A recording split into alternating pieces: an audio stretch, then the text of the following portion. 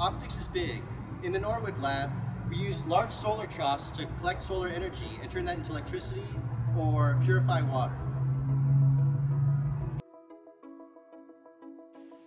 Where optics can also be small, in Dr. Su's Sensor Lab, a wide range of particle sizes with radii from 2 to 100 nanometers can be detected using ultra-sensitive microtoroid optical resonators.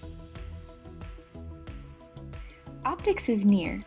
We use microscopes to get near objects to look at things that we can't see by eye, like the surface of this 2 on the 2002 written here on this penny in our microscope.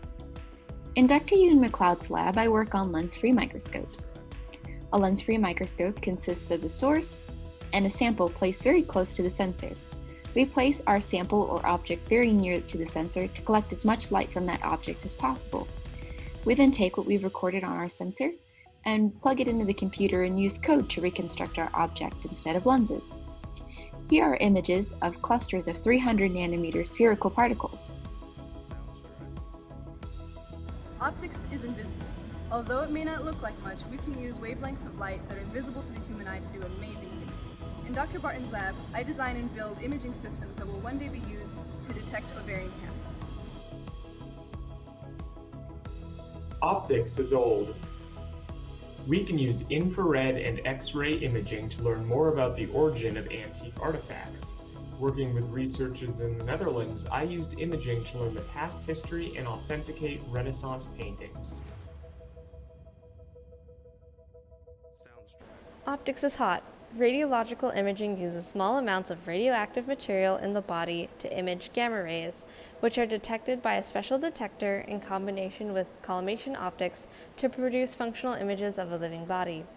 By working with Dr. Furenlid, I took part in making brain imagers which detect Parkinson's and Alzheimer's disease. Optics is fast.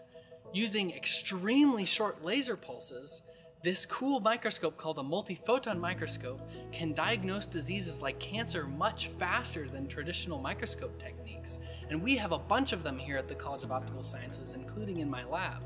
These lasers use pulses on the order of femtoseconds, or 10 to the minus 15 seconds.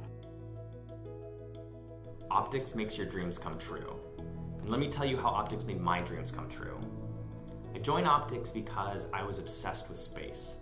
When I was 16, I looked through that telescope and saw the rings of Saturn for the first time and knew that I needed to make space exploration a part of my life.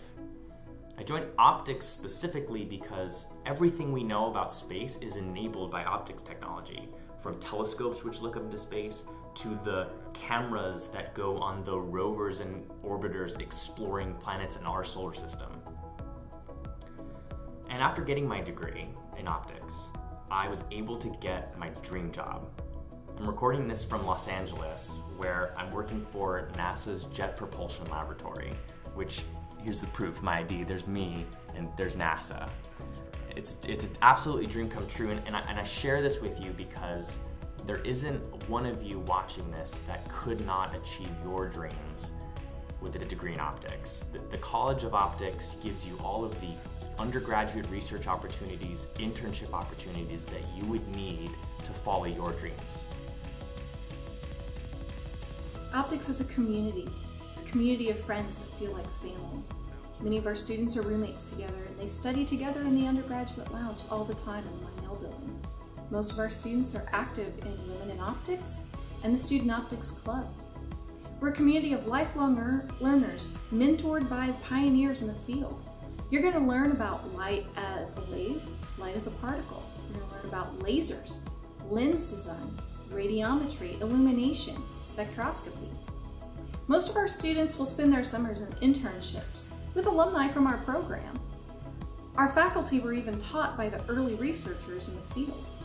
We're a community of innovators that challenge themselves and others. We are a difficult major. Many courses are shared with graduate level students, but there's a lot of support for that learning as well. We'll use the McGuire Entrepreneurship Program in place of our senior design. And many of our students will leave with minors in things like electrical computer engineering, mechanical engineering, astronomy, and math. We're a community of industrial partners who invest in our education. Most of our students will leave with multiple job offers with very high salary offerings.